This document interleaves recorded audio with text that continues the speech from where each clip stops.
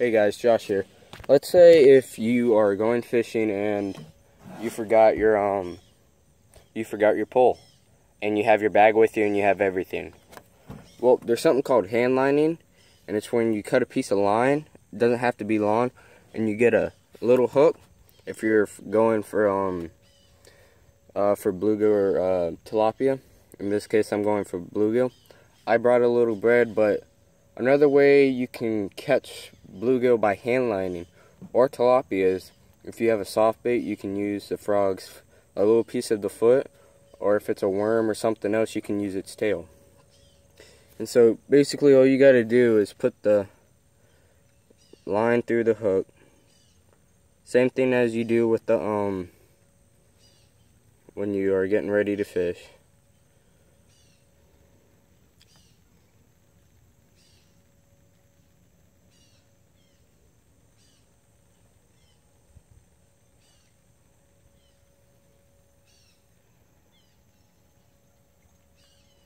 But it's the most simple way to fish for fish.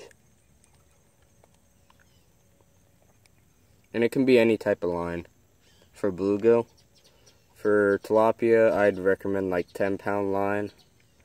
But since I'm going for uh, bluegill, then I'm gonna use some um, bread.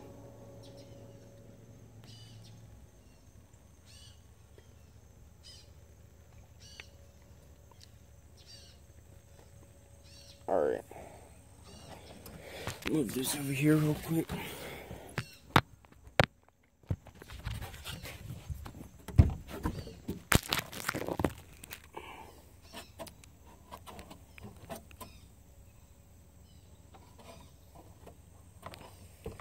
I'm gonna get a tiny piece of bread. It's a little too much, so I'm gonna put it in a half. Put it on the hook. And I might miss a couple fish, but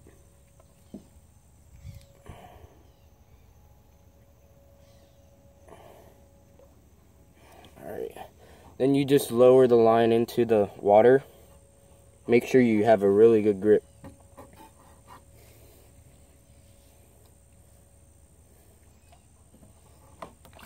Oh, here we go.